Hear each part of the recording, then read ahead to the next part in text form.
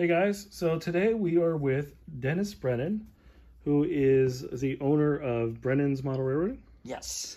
And can you tell me a little bit about yourself and what it is you sell and what you're doing today, actually? Certainly. Well, right now I'm doing scenery on a layout that um, that I worked with um, Andrew. Me. yeah, with Andrew. So Andrew and I have been working together. Well, on this project anyway for about five years maybe. Okay. And um, but to get back to where I came from in 1997, um, I'd been writing articles for Classic Toy Trains, and I discovered a product for ballast. And I was going to write about this, and my wife said to me, "Don't write about it. Why don't you sell it?" Smart woman. yeah. And so Brennan's Model Railroading was born, and it's gone from ballast to now, uh, this is like my 25th, 25th year in business. Okay. Um, and so now I'm selling kits. So obviously this is your ballast, Mm-hmm. or at least some of it. This is some of it. So can you tell me the color combo here and what you got going on as far as that? Yes. Um, this is what I call my natural gray stone. And it's a, a mixture of several different colors of gray, light, medium, dark, and some little darker pieces of almost black. Um, and it just looks real. Okay. It's the kind of ballast that I remember when I was growing up. And then I also have yard ballast. My yard ballast is right over here. This is the yard ballast. Um, and it is a dark blend. It's actually not black. It looks black, but it's actually a, a, a blend of really dark gray colors. Okay. And um, And your ballast is what actual stone, right? Yes, it's crushed granite. It's actually crushed granite. And if you look over here, this is this is all scenery product that I sell. This is superior sand that I have in between the um, the tracks.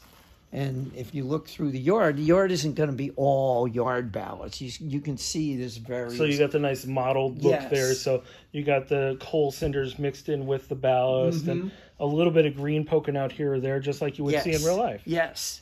And that's the whole thing. Nothing is ever one solid color in real life. Yeah. And and the reason I like superior sand, I don't do anything to this sand.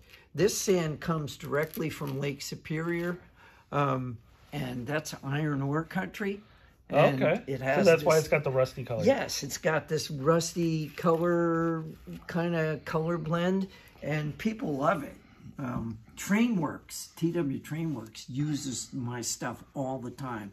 They, they, the majority of the layouts that they use, use my ballast. Okay. And why should people use your ballast as opposed to, say, kitty litter or oil dry or something like that? I mean, they're very common. It's very popular. So tell me what the difference is.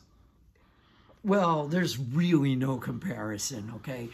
Kitty litter kitty litter is made to clump. I mean, cats do their stuff in it and it clumps up. And I tried kitty litter myself just to see what the difference would be. First of all, it's out of scale. Okay. Most of it. The, and kitty litter, there isn't like one brand of kitty litter. I mean, there's stuff all over the place. I had a hard time trying to find what kind of kitty litter could actually work. So I got different kinds. They have stuff with scent. So it basically just kind of turns into goo after a Yeah, while, it right? does. And it and it So what about oil dry? Because I mean, it's it's a similar dry- product, but somewhat yeah. different. Now kitty litter and oil dry again, they're uh, they're actually made. A lot of them are made from diatomaceous earth. okay. and it's dirt basically um, and it And like all dirt, as soon as you get it wet, it turns into mud. yeah it's kind of muddy it's kind Okay. of muck, mucky and so yeah you can save some money buying those products but when you spend the kind of money that you're going to spend on track and and cars Yeah. cars are you know engines one engine like one of the legacy engines that cost a thousand dollars, you'll never spend that much money on ballast. I don't care how big your layout is.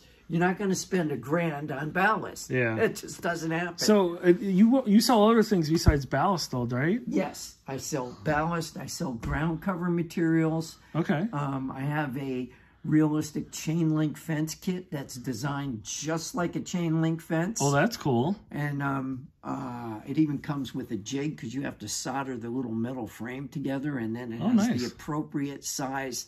Um, Oh, so med- you, the rivet counter should go get your chain link fence. yes, there Okay. is not any other chain link fence on the market that is even close to mine. And then you do structures as well, right? Yes. Do you have any examples here? Uh, well, let me see. Um, I don't actually have. I have a lot of kit bash things that I've done. I mean, Okay. every model that you see up here. Oh, you've got one of yours in the other room, Yeah, though, in the right? other okay. room. I'll, I'll cut in a picture for you guys. Okay. And then the last thing, uh, you, you wrote a book. Well, that's my structure. oh, well, yes, that's right. But I'm not making it anymore. Oh, well, okay. it's a plaster roundhouse kit. Nobody has ever done one, and I know why. I'll never do it again. So t- tell me about your book. Okay. So I, I know you're very proud of it, and I've used it for reference a few times. So this is his book, and uh, The book, if you look on the cover here, you open this up, that is a project layout that I built for classic toy trains called Sandy Harbor Terminal Railroad. And the idea was to show what you could do in a small space to make it seem bigger than it is. And what I did is um, this this layout isn't really that big. It's got two lobes.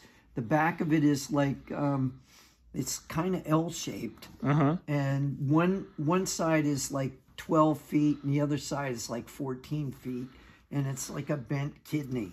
Okay. shape. So this book is it for beginners or is it for This intermediate? book is for Just about everybody. everybody. Okay. Yes. Um, the difference between most books and what what I've written, um, a lot of books give you like how to do this, how to do that. Well, I'm an artist, so I give you the art behind the decisions that I make here so that you can this isn't about building this layout it's using this layout to explain how to approach building a model railroad Yeah, and uh, you were talking about forced perspective, and I mean, you can actually see behind you. yes So in in real life, here is he's got O gauge buildings in front, and then the ones in the back, those are actually HO scale. scale But from here in the video, even you can tell it just blends in together. So we got some Disney magic here in the Orlando area.